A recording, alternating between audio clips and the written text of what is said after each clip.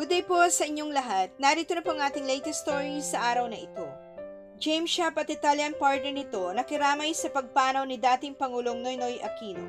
Pero bago pong ating balita, huwag pong kakalimutan mag-subscribe sa ating channel at pindutin ang notification bell para lagi po kayo updated sa ating mga balita.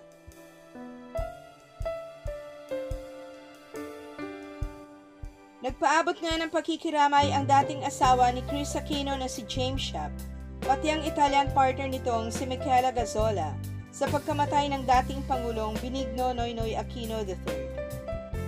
Ayon sa basketball superstar at tatay ng bunsong anak ni Chris na si Bimbi, naging mabuti at maayos ang pakikitungo sa kanya ni Pinoy noong nabubuhay pa ito. Nag-post ang PBA player sa kanyang Instagram account ng picture ni Pinoy na may caption na Rest in peace, President Noynoy Aquino. Thank you for being nice to me. You will be missed.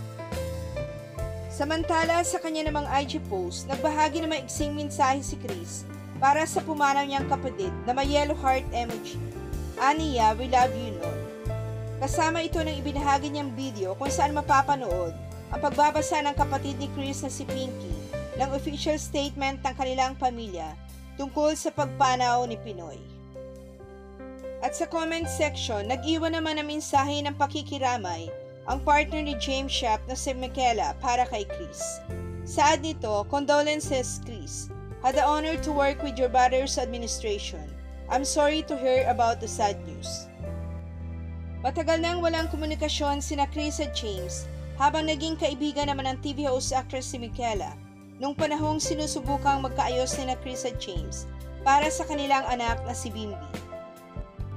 Kung matatandaan, October 2016 ay bumisita si Chris sa bahay ni na Michaela at James para makita ni Bimbi ang kapatid sa ama na si Michael James na nooy baby pa lamang.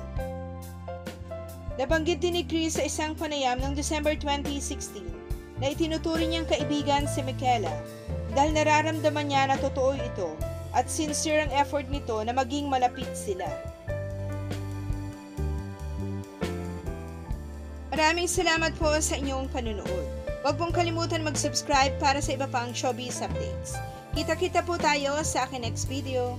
Thank you!